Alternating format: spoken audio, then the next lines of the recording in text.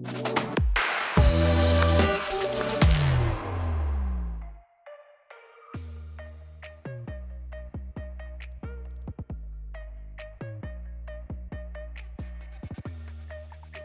znamená to pro mě hodně, je to můj sen, byl to můj sen vždycky za, začít hrát za baník jako za chlapy a určitě to motivace do další práce a budu pracovat dál stejně a doufám, že dostanu víc těch zápasů.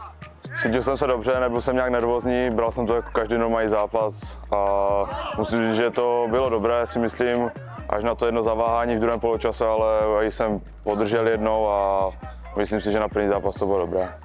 Tak minulý rok už jsem byl tady na přípravě v Kroměříži a tam to nebylo optimální, nevím jak, necítil jsem se nějak dobře prostě a celkově asi máte pravdu s tím, že to bylo jakoby, jsem si myslel, že to půjde samo a bylo to úplně jiné úroveň právě.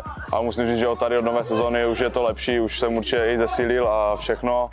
A musím si říct, že teď už se cítím normálně a musím říct, že je to super, pracováme dobrý golmanský tým celý, hlavně i Láš tým mi hodně pomáhá, musím si to jenom pochvalovat, je to takhle fajné. My jsme věděli, že Martin nastoupí, už další dobu jsme na to připravovali. Bylo to jeho první soutěžní utkání za Ačko, myslím, že si to zhostil dobře. Mužstvo podržel v první počase, kdy chytil dvě, dvě šance. Samozřejmě ta, ta moto, já by něco chytil a to mužstvo podržel. Samozřejmě nějaké věci se nám nelíbí ještě, ale to jsme s ním probrali a v celém, v celém tom zápase si myslím, že podat dobrý Tři patří už těch dobrým golmanům, kteří mají budoucnost, bude záležet na něm, jak se s tím, jak se s tím vyrovná, jak, jak bude pracovat.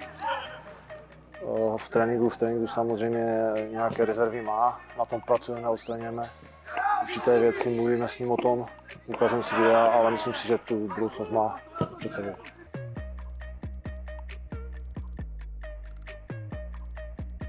Po víkendu, po zápase mi jako vlastně řekl trenér, že jako pokračuju s Ačkem. A pak v tréninku mi nějak jako naznačovali už jako, že bych mohl začít a jako hrát už od základu. Tak zdravě nervózní jsem byl, byl jsem namotivovaný a pak jako, když už jsem už byl na hřišti, tak jako to ze mě spadlo, věřil jsem si. Na hřišti jsem se cítil dobře, trenéři byli spokojení a důležité, že jsme vyhráli.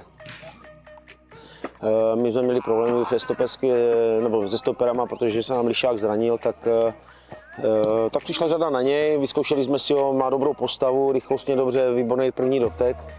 I když v tom zápase v dorostu udělal chybu, tak dneska jsem se s ním bavil, tak, tak teď v tom utkání prakticky chybu neudělal žádnou, takže, takže odehrál to slušně. Moc se zatím neprojevuje, je takový tichý, tak ale zase to logicky je tady s náma chvíli že má výbornou postavu, myslím, že i silově na tom velice slušně, jak jsem řekl, technicky dobrý, první dotek dobrý. Když musí na sobě pracovat a věřím, že by to mohl být hráč, který by se mohl klidně zapojit.